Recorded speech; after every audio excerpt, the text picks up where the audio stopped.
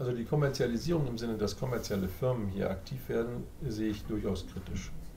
Dennoch kann es sein, dass sie die einzigen sind, die die Expertise haben, um tatsächlich das Gewebe in einen transplantablen Zustand zu befördern.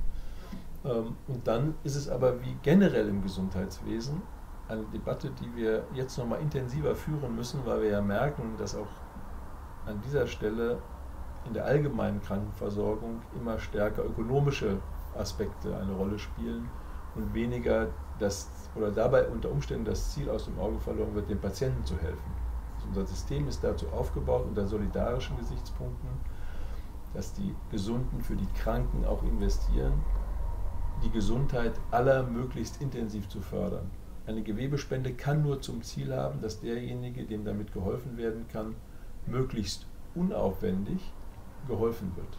So, wenn wir jetzt einen kommerziellen Anbieter haben, der sagt, ich bin der Einzige, der, nehme ich mal ein Beispiel, einen Knorpel für eine Knorpeltransplantation so aufbereiten kann, dass er dann wirklich medizinisch voll zu Nutzen kommt, voll, äh, voll sein, äh, einen Sinn ergibt, dann muss dieser Anbieter, wenn er sich in diesen Bereich begibt, klar haben, dass er auch eine altruistische Form von Dienstleistung erbringt.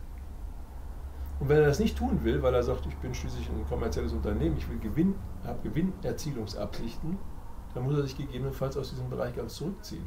Selbstverständlich müssen in diesem Bereich scharfe, auch finanzielle Prüfungen stattfinden. Oder aber, bevor ich überhaupt einen Preis aufrufen kann, muss ich ganz klar alle meine Kosten transparent offenlegen, bevor ich sagen kann, also für meine Arbeiten, die ich hier an diesem Knorpel durchgeführt habe, brauche ich 1000 Euro.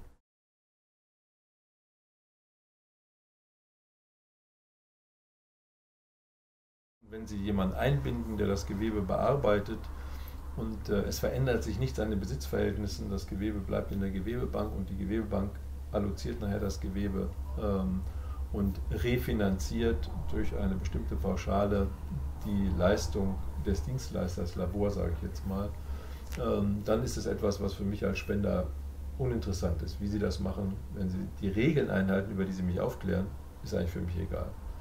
In dem Moment, wo sich das, die Besitzverhältnisse zum Beispiel an dem Organ ändern würden, weil Sie zum Beispiel sagen, ich gebe dieses Gewebe an einen kommerziellen Anbieter, der arbeitet es auf, dem gehört das Gewebe dann auch rein äh, juristisch in der Zeit, bis er es wieder abgibt, in Anführungsstrichen verkauft.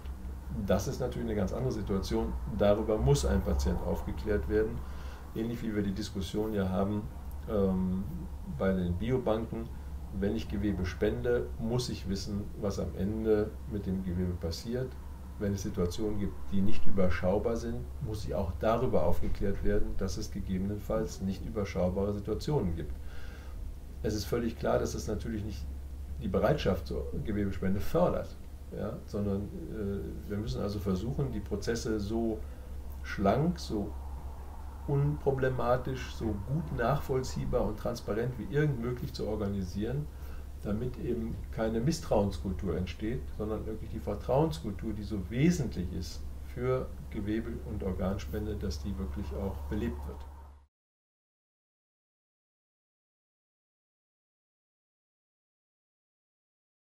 Also zuerst ist ähm, mal die Forderung gegeben, dass immer gewusst werden muss, wo geht ein Gewebe hin und wo kommt es her.